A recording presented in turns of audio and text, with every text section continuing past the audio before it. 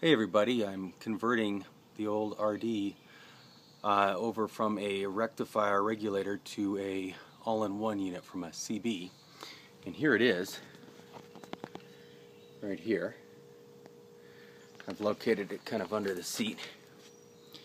So I've got, uh, got some wires coming off of it.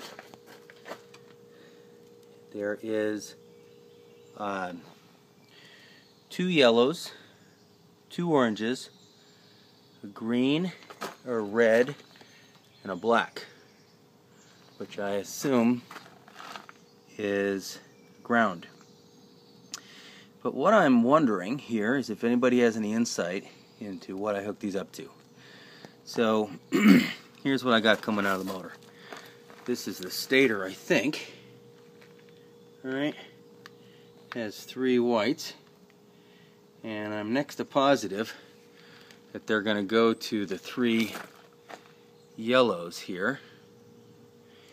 Um, here out of from the generator or alternator I think it is I've got a green an orange a gray and a black. So it's green to green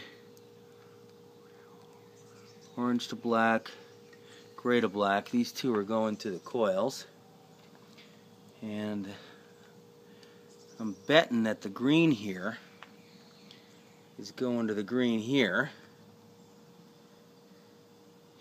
But I'm not sure. So if anyone has any ideas, here's the unit there.